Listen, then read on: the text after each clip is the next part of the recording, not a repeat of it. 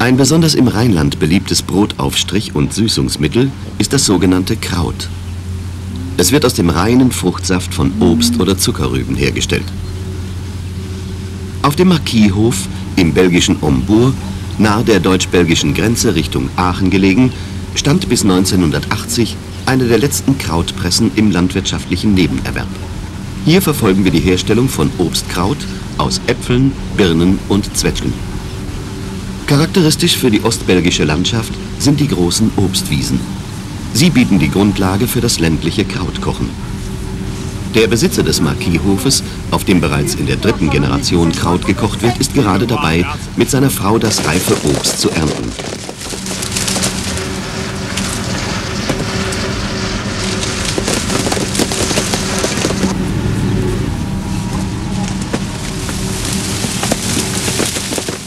Damit die Früchte, die ungewaschen verarbeitet werden, weitgehend sauber bleiben, breitet man unter den Obstbäumen über Dreck und Kuhfladen mehrere Leinensäcke und eine große Zeltplane aus.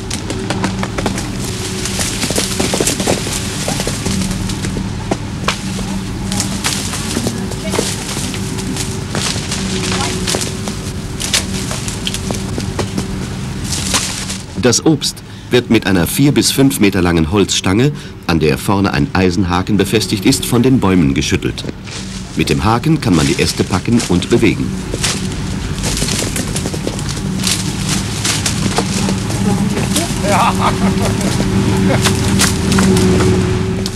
Die Ernte ist eine arbeitsintensive Zeit in der Landwirtschaft.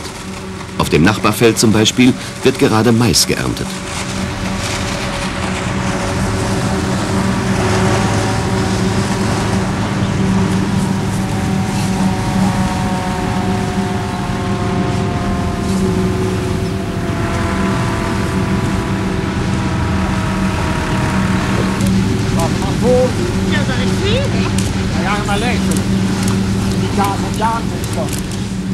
Das durch das Schütteln herabgefallene Obst wird aufgehoben und in Körben gesammelt.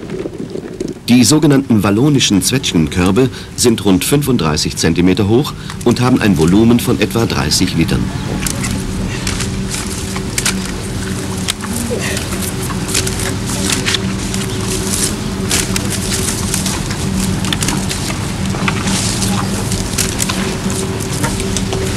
Rapen.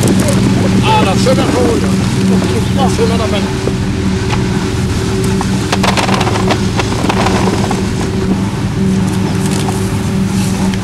Im Marquishof verarbeitet man beim Krautkochen zwei Drittel Birnen und ein Drittel Äpfel sowie Pflaumen. Der Zusatz von Pflaumen ist eine Spezialität des Krautkochers und dient der geschmacklichen Verfeinerung. Die Mischung kann sich zwar je nach Ernte etwas ändern, doch sind zwei Drittel Birnen die Regel.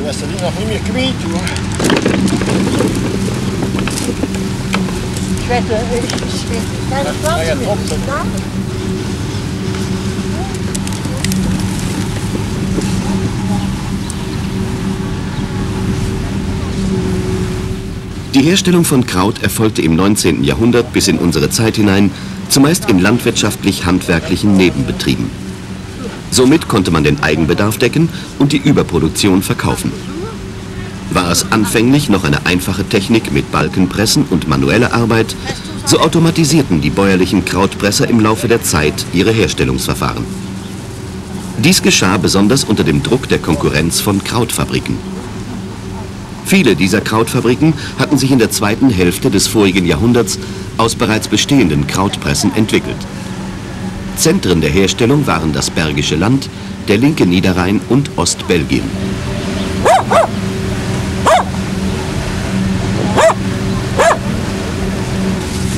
Dan moet je erop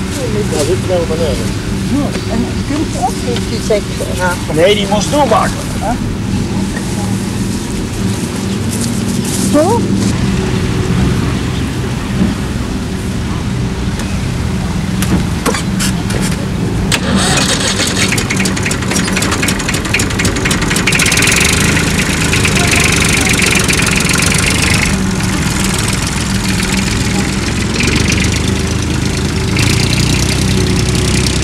Das geerntete Obst wird zum Hof gefahren und kann dort verarbeitet werden.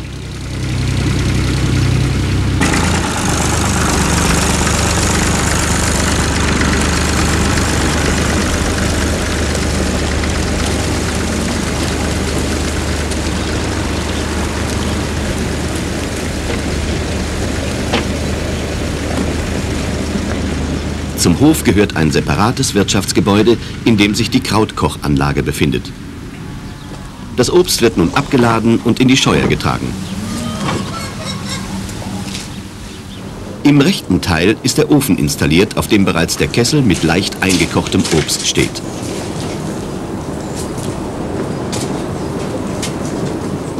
Das Obst wird ungewaschen in den großen Kessel gegeben.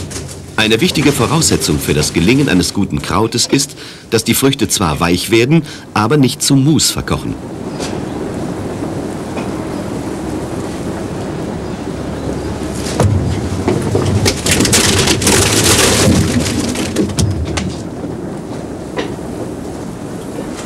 Der runde Kochkessel ist aus Messing und hat zwei Henkel.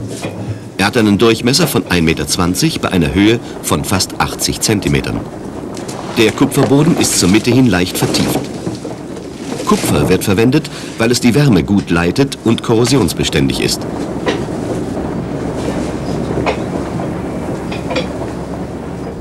Der Kessel fasst 12 Zentner Obst oder fast einen Kubikmeter.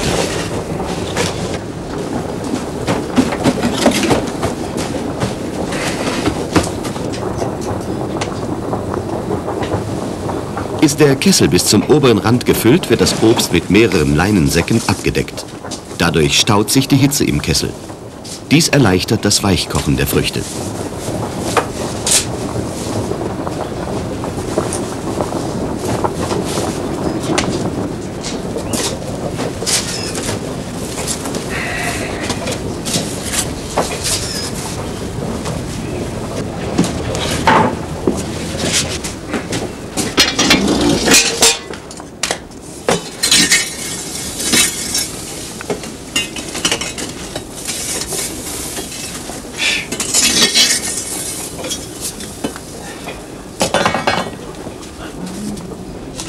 Immer wieder muss Holz nachgelegt werden. Für den gesamten Kochvorgang benötigt man eineinhalb bis zwei Kubikmeter Holz. In diesem Fall wird Abfallholz verwendet.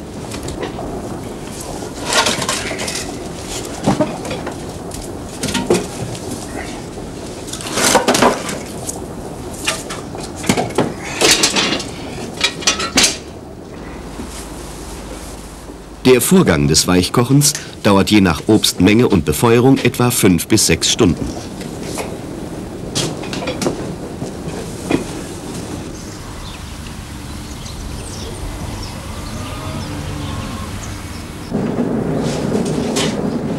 Immer wieder überprüft der Krautkocher den Kesselinhalt.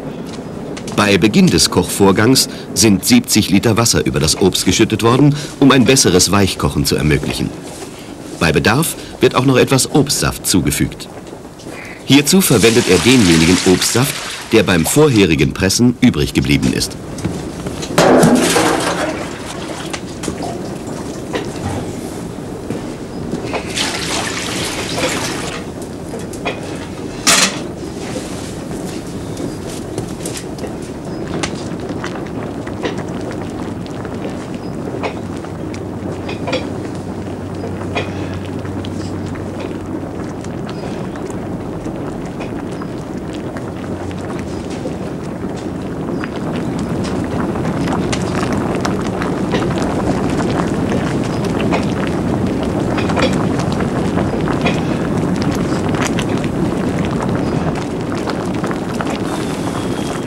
Das Obst weich gekocht, bleibt es bis zum nächsten Morgen bei kleinem Feuer im Kessel, da sich heißes Fruchtmark besser auspressen lässt.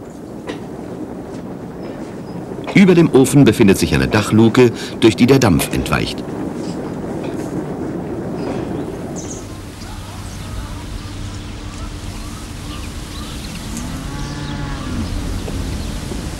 Am nächsten Morgen wird das weichgekochte Obst zusammen mit dem bereits ausgetretenen Fruchtsaft in die Presse umgefüllt.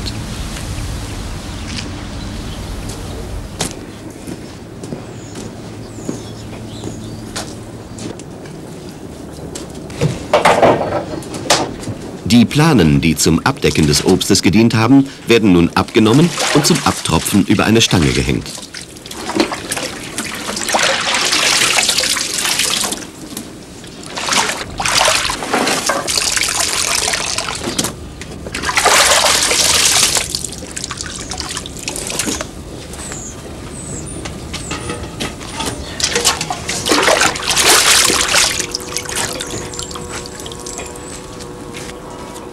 Alte Holzpresse aus dem Jahre 1894 besteht aus einem Bottich, der eigentlichen Pressvorrichtung und einer Auffangwanne mit Abfluss.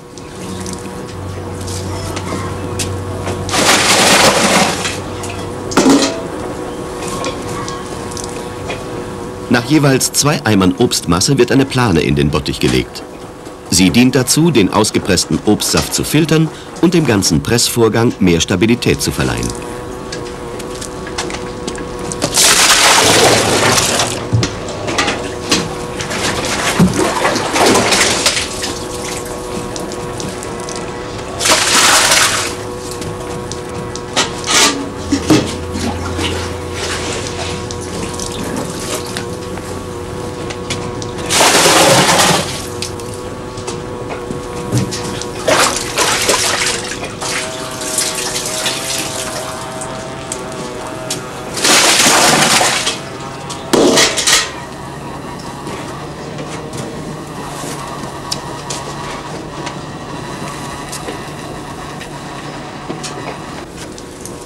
In dem unter dem Auslauf stehenden Saftkessel, der 80 Liter fasst, sammelt sich inzwischen der reine Obstsaft. Dieser wird immer wieder in ein großes Fass umgeschüttet, um den Saftkessel freizuhalten.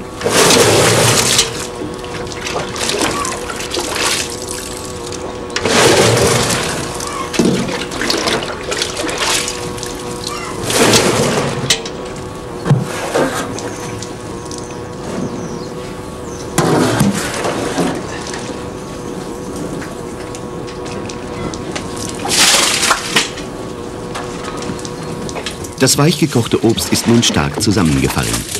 Die heiße Masse wird möglichst gleichmäßig im Pressbottich verteilt und mit Leinensäcken abgedeckt.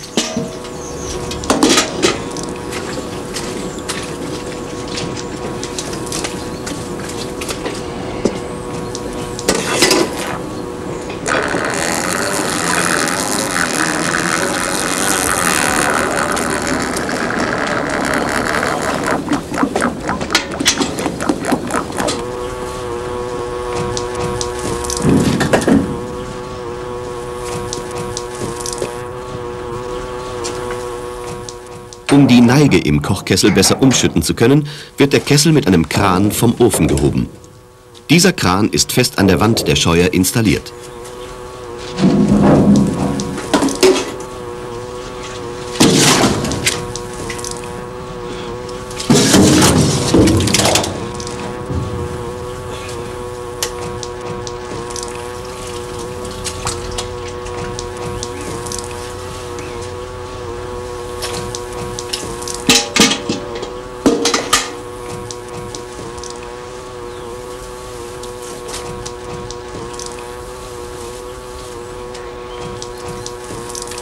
Einigen Schöpfkellen Saft werden die Reste der Obstmasse von Boden und Wand gelöst.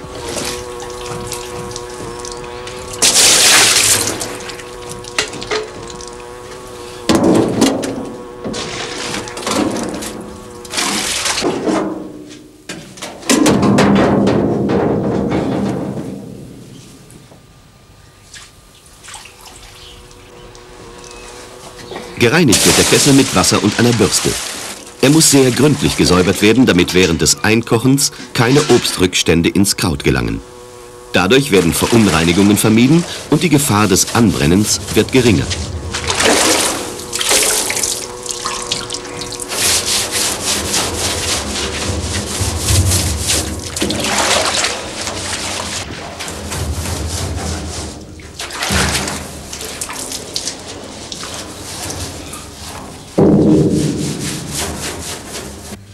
Obstsaft wird nun in den Kochkessel zurückgeschüttet. Das rechteckige Sieb besteht aus Kupfer. Das Seituch, das in das Kupfersieb gelegt wird, ist ein grobmaschiges Küchenhandtuch. Es hält die Schwebstoffe aus dem Saft zurück und muss während des Filterns mehrmals in einem Eimer mit kaltem Wasser ausgespült werden.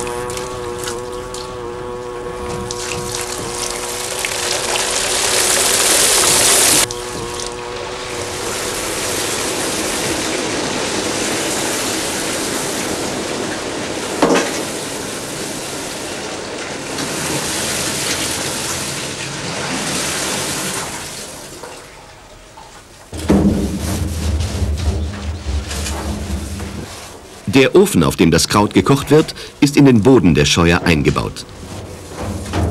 Das Feuerrund hat einen Durchmesser von 1,20 Meter. Zur Feuerungstür führt eine mehrstufige, gemauerte Treppe abwärts.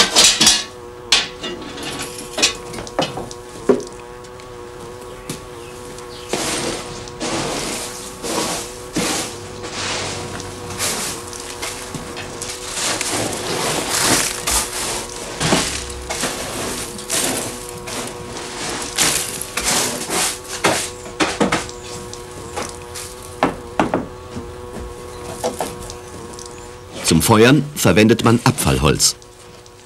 Als Anstochholz dient Weißdorn, Buche und Haselnuss, die beim Fegen, das heißt beim Ausputzen der Hecken, übrig geblieben sind. Früher stochte man mit Eisenbahnbriketts. Wegen des höheren Heizwertes der Briketts benötigte man nur die Hälfte der Kochzeit. Heute allerdings ist dieses Heizmaterial zu teuer und macht den Verbrauch für den Nebenerwerbsbetrieb unrentabel.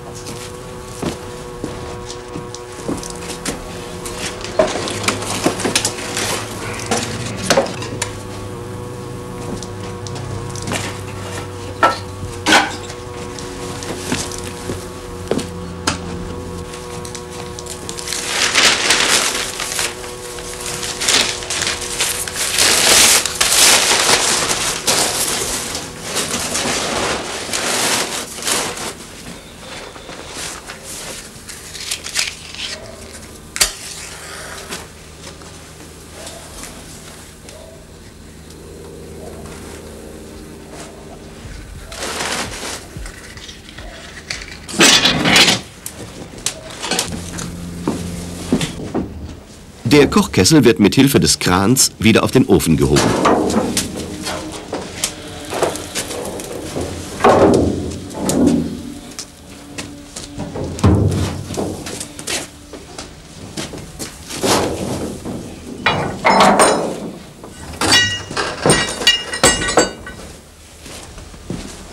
Die Fuge zwischen Kesselboden und Feuerrund dichtet der Krautkocher mit Sand ab. Wichtig ist dieses Abdichten für den richtigen Zug im Ofen. Hat sich die Obstmasse im Bottich etwas gesetzt, werden oben zunächst drei Presshölzer aufgelegt. Die mindestens drei bis vier Zentimeter dicken Hölzer sind so geschnitten, dass sie den Bottichdurchmesser von 80 Zentimetern vollständig ausfüllen.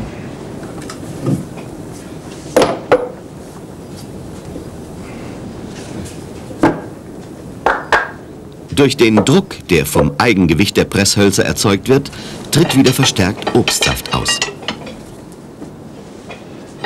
Auf die Presshölzer werden nun möglichst gleichmäßig weitere Kantholzstücke gelegt. Ist durch das Auflegen der Hölzer die erforderliche Höhe erreicht, kann die Spindel heruntergeschraubt werden.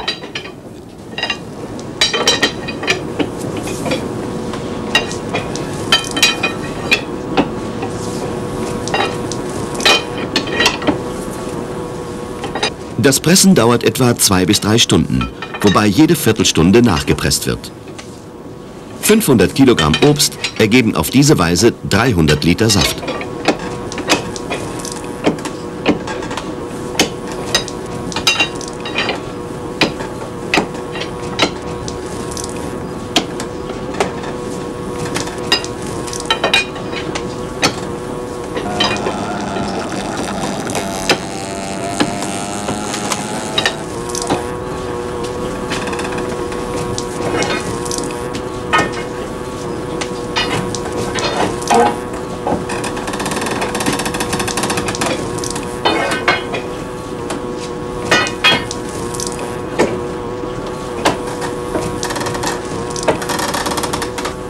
Um ein gleichmäßiges Feuer zu gewährleisten, muss immer wieder Holz nachgelegt werden.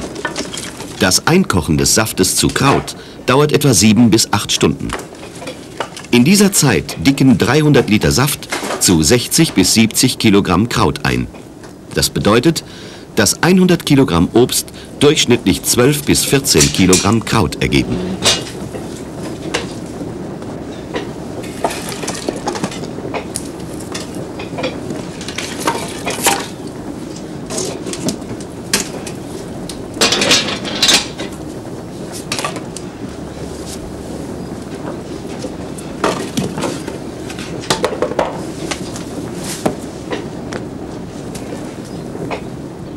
Immer wieder wird die Spindel weiter heruntergeschraubt.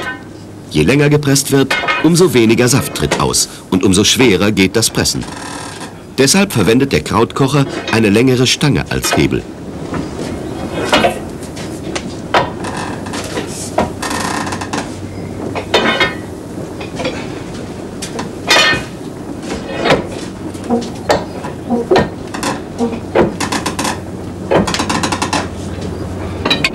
Der leicht kochende Obstsaft muss hin und wieder umgerührt werden, damit er nicht anbrennt. Die letzte Stunde des Kochens wird dauernd gerührt.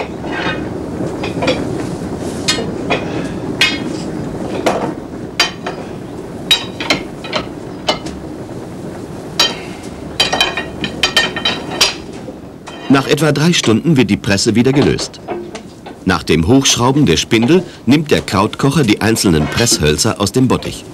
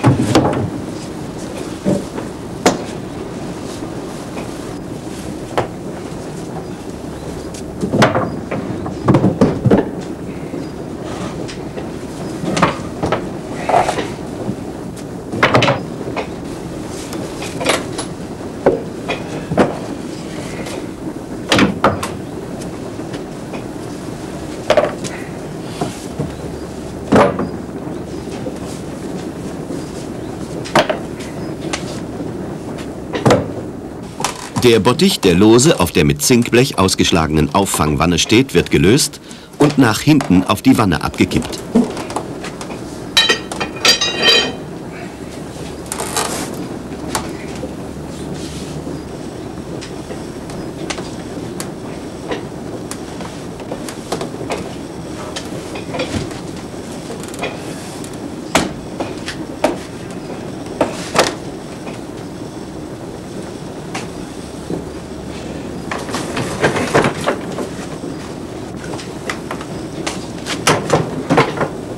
Zwischen den Leinensäcken befinden sich die Pressrückstände.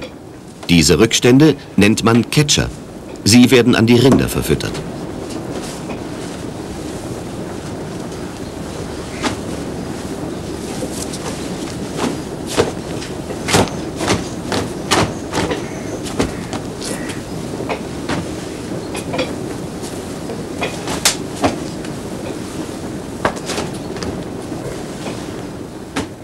Kraut zählte im 19. Jahrhundert zu den wichtigsten Nahrungsmitteln, besonders der unteren sozialen Schichten. Es war als schmackhaftes und vor allem billiges Süßungsmittel geschätzt. Eine Differenzierung ergab sich im Laufe der Jahrzehnte durch die Herstellung von teurerem Obstkraut. In vielen Familien gab es wochentags Rübenkraut und sonntags Obstkraut. In den Nachkriegszeiten des 20. Jahrhunderts war Kraut ein begehrtes Tausch- und Handelsobjekt.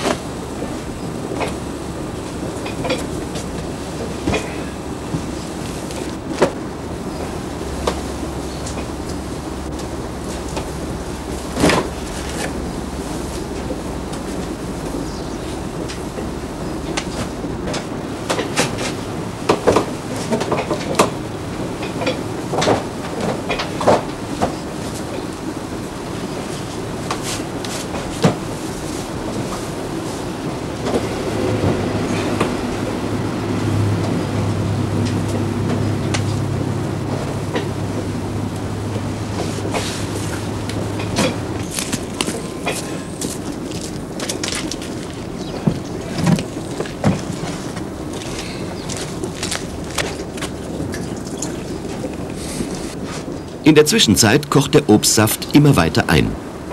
Nicht nur die 70 Liter Wasser müssen verdampfen, sondern auch der im Saft enthaltene Flüssigkeitsanteil.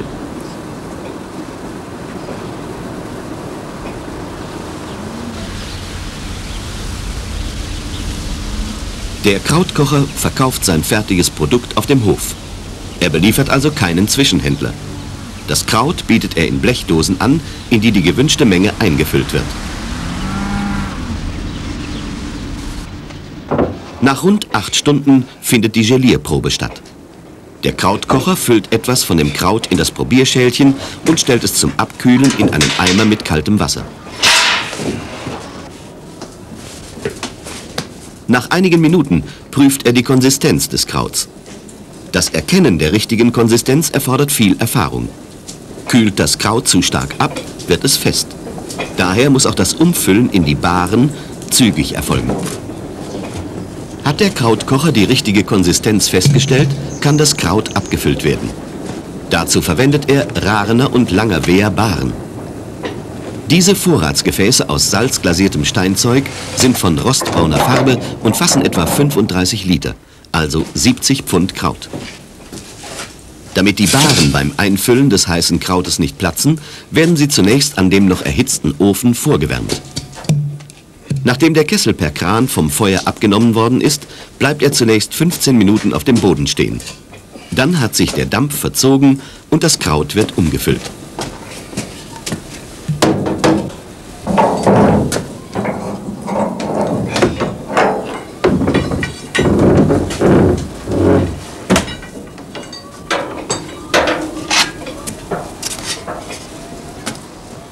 Der Krautkocher schöpft das Kraut mit einem Stieltopf aus dem Kochkessel in eine Bahre.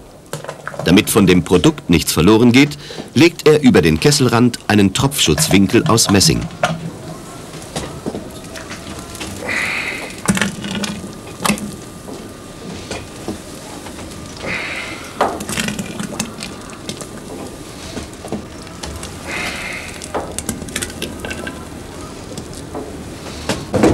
Das Krautkochen, wie wir es auf dem Marquishof gesehen haben, ist eine harte Arbeit.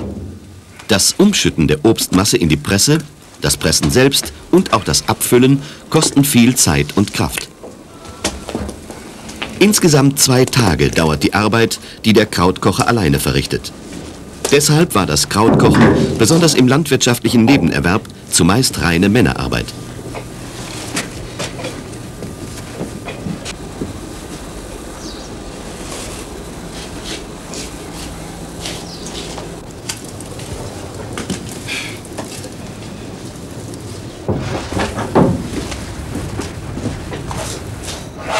Der Rührlöffel besteht aus einem Holzstock, der die Form eines Teigschabers hat.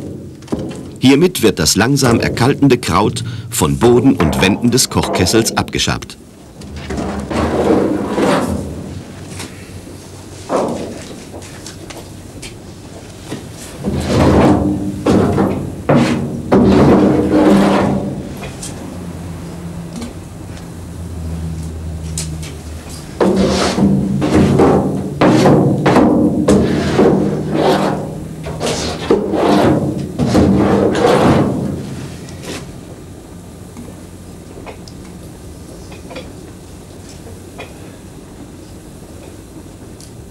Das hier hergestellte Obstkraut ist ohne Zuckerzusatz eingekocht worden. Dagegen darf das heute erhältliche rheinische Apfelkraut bis zu 25% Zucker enthalten. Kraut, sei es nun Rüben- oder Obstkraut, erfreut sich neuerdings wieder großer Beliebtheit, nachdem es nach dem Zweiten Weltkrieg fast völlig in Vergessenheit geraten war.